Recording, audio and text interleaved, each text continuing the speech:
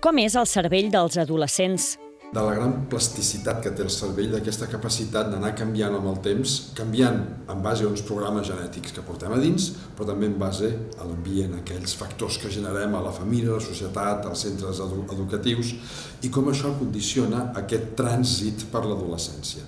I una de, les, una de les coses que vull és desmitificar l'adolescència. Moltes vegades els que han tingut fills adolescents, quan et veus que arriben, t'esglaies i dius, ai, què passarà? Bueno, és que és normal, és que l'adolescència és indispensable, és crucial i és vital que passin l'adolescència i que facin alguna tonteria durant l'adolescència. Llavors penso justificar des del punt de vista neurocientífic per què aquesta etapa és com és i per què és tan important que sigui això. Com canvia el cervell dels adolescents quan es fan adults? Hi ha tres zones del cervell que canvien de manera especial entre la preadolescència i l'adolescència i després tornen a ser com eren abans. Una és l'amígdala, que genera les emocions, que es torna hiperreactiva. D'aquí ve la gran emocionalitat dels adolescents. Una altra és el que s'anomena l'escorça prefrontal, que és la zona que tenim just darrere el front, que és la que gestiona la reflexió, la planificació, la presa de decisions, la pròpia gestió emocional, que aquesta zona perd eficiència de funcionament. No és que no puguin reflexionar, és que els costa més. No és que no puguin planificar, és que els costa més.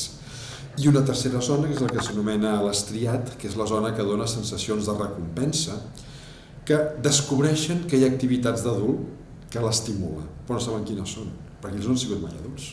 Per tant, necessiten provar i equivocar-se, provar i equivocar-se, trencar límits, a veure què hi ha més enllà d'aquests límits i de tant en tant encertar-la per anar confegint la seva pròpia personalitat. Per què s'avança a l'edat d'adolescència? Hi ha hagut un petit avançament de l'adolescència, però estem parlant de 9 mesos, un any, i és una qüestió biològica relacionada amb la bona nutrició que tenim. Podem fer el canvi una miqueta abans perquè estem més ben alimentats. Però una altra cosa és que ja durant la infantesa imitin comportaments adolescents per allò que veuen normalment a les xarxes socials. I aquí sí que hem de vigilar molt. Hem de vigilar molt perquè estan imitant uns comportaments que no senten dins seu. I això genera un desequilibri.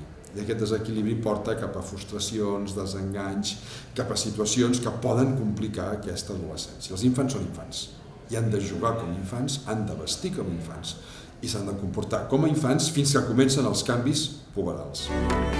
Com poden els adults ajudar o entendre els adolescents? La feina de la família és acompanyar-los.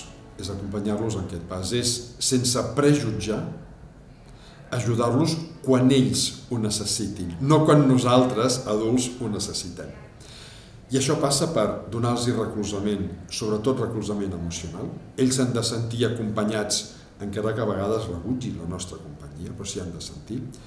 Han de tenir un bon exemple, encara que no us sembli, imiten els adults. Per tant, hem de donar l'exemple d'allò que volem que facin i hem de mantenir el seu estímul, estímul per continuar creixent, per continuar aprenent, estímul per fer-se grans, perquè si no poden caure també en, des, en desmotivació.